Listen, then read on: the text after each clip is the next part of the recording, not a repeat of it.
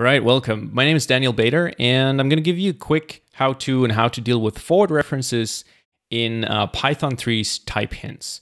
So, the problem that we're running into today, or that we're going to talk about today, is um, how would you type hint a piece of Python code that looks like this? So, we have a single class um, that we're defining here. It's called my class, and it has a single method on it that uh, is supposed to return uh, an instance of the actual class, right? It's just going to return the self object.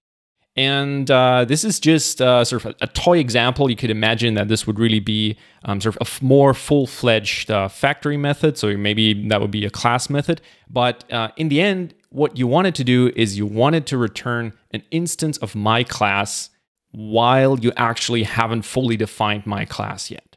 So if you think about a way to um, add type hints to this class or to this get instance method, sort of the first thing that would come to mind is that you would just add a regular uh, type hint for the return value. Just tell it, hey, this returns an instance of my class.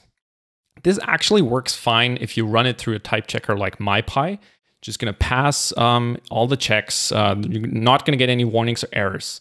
However, if you try to run this in the Python interpreter, what's going to happen is it's going to blow up and you're going to get a name error that says my class is not defined.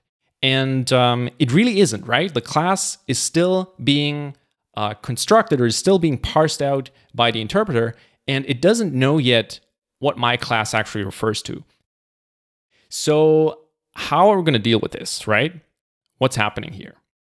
The one keyword that you need to know about uh, to help yourself out here is forward references is exactly what's happening here. We're, we're referring to a type that hasn't been fully defined yet at the point in time uh, where we refer to it.